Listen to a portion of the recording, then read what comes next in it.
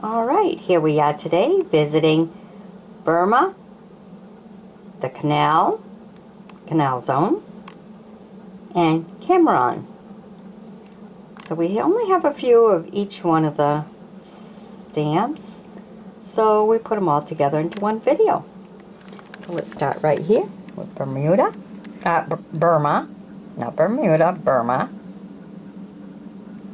Look at that. Look at all the design behind that. You get to see the architect of the building. But look at that. Look at the side view right there. When you look at the stamp, you got to look at all the details. A lot went into the stamp.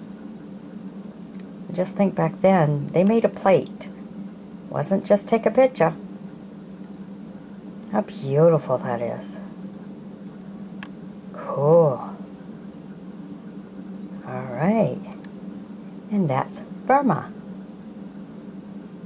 That's the only stamp I have for Burma. Now, the Canal Zone, we have two. We have this three cents. 75th anniversary of the hospital. 1882 to 1957. Wow. It's beautiful with all the trees around it and everything. It's a nice view.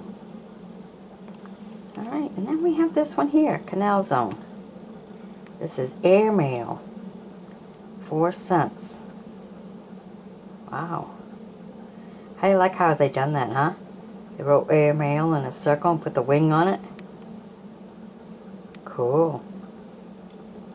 Very different way. Very creative. For sure. Alright. And now, Cameron. Cameron. Cameroon.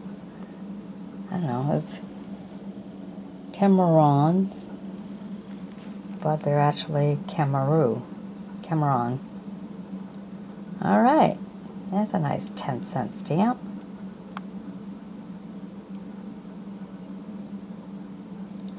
Beautiful. Farming the land. Alright, now look at this one. This is different for sure.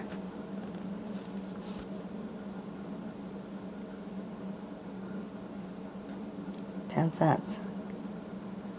Quite the animal, isn't it? Very different.